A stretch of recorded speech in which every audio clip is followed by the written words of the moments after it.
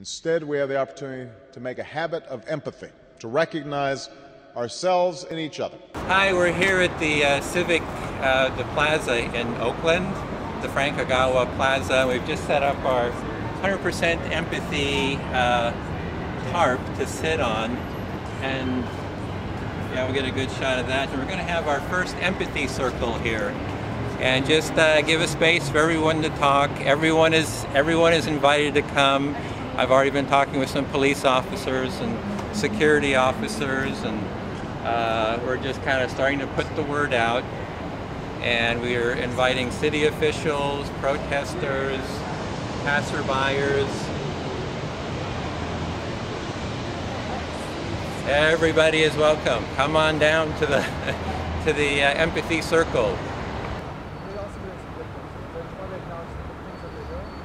And like when he said that to him, like you could tell that like it him on a human level and like sort of like there's a difference. And you can tell like when he drove off and he was gonna interact with a bunch of people that he was gonna be a nice guy. You know, he's gonna protect them. Like,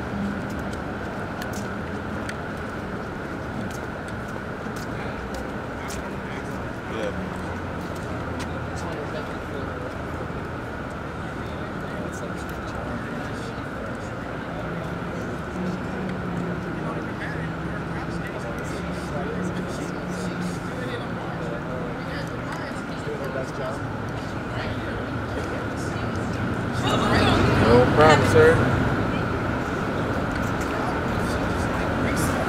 I just wanted thank you for being here. Doing the best job for peace. It a hard job to do. Not everybody sees you in the best light. So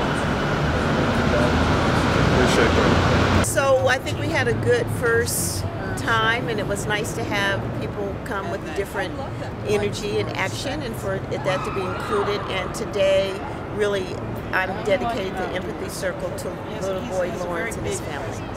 So yeah, I uh, went around. I um, followed John for a little bit and videotaped him talking with some security officers, and, and then I went and uh, actually uh, shared my gratitude for their presence. So I was kind of thinking in terms of of presence, you know, that being grateful for everyone's presence and just letting people know that I'm grateful for their presence.